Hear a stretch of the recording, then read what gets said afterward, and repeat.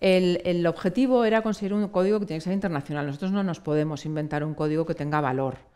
Y la clasificación tiene, para que os hagáis una idea, 77.000 códigos diagnósticos. Es muy difícil empezar eh, eh, inventar un código desde cero, pero podríamos alargar uno que ya está dentro de las secuelas por daño y ponerle un dígito al final.